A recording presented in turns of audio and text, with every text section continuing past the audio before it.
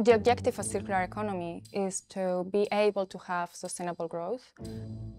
Batteries is a good example of that. We need batteries to move away from fossil fuels. But batteries use resources. The resources that we have in the planet are limited. So Hitachi is fostering innovation in that sector to bring a more sustainable battery that is going to allow for that transition.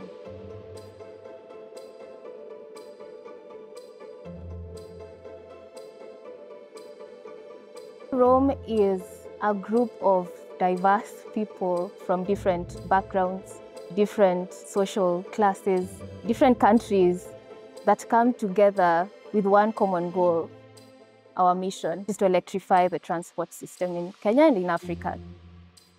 Sub-Saharan Africa faces several challenges in the shift to electrification.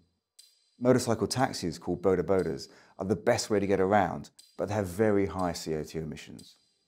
And that's where Roam comes in. Their electric motorcycles and buses meet the needs of users, are reliable and reduce emissions. Batteries suffer in extremes of temperature and need strategies to address different terrain, different charging patterns, different driver behaviour and different ownership models. Hitachi is committed to decarbonising mobility across the world and supporting ideas that can make it a reality. Data is the key to unlocking battery performance in life.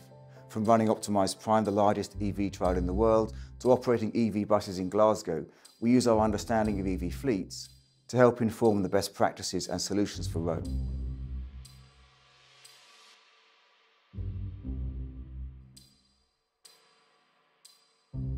Ascend Elements is, is revolutionizing the lithium ion battery industry by creating a circular closed loop supply chain.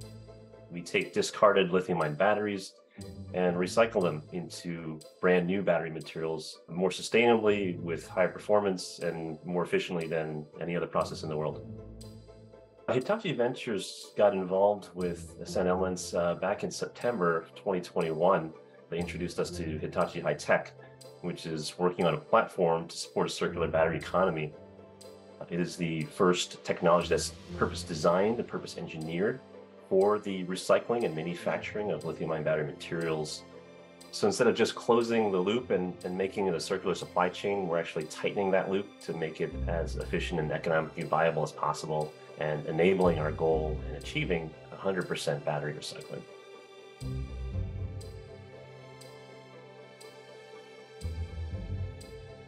At Hitachi High-Tech Europe, we have developed two different ways of diagnosis battery state of health. The strength of our solution is that we can provide accurate and rapid state of health information to the customers on the cloud. The combination of using Hitachi's ion milling system and the scanning electron microscope offers the possibility to get a quick and flawless insight into the inner structures of produced battery electrodes. We help to avoid the scrap rate and the average scrap rate what we see at the moment in the industry is about 30%. Capturing data is a very, very important part. And uh, with this system, we are able to identify within a very short time the number of the contaminants and the size of the contaminants. And this gives the manufacturer then the real big advantage to judge if this is a good or a bad quality product uh, before they use it for further processing because if you have to manufacture a, a, battery again because you find out this one is the bad one, you know, that's a complete process. With the data we collect from the batteries at all these stages of the life cycle, we innovate to improve all those different stages and create more sustainable batteries that are going to help our clients to achieve the sustainable growth they are looking for.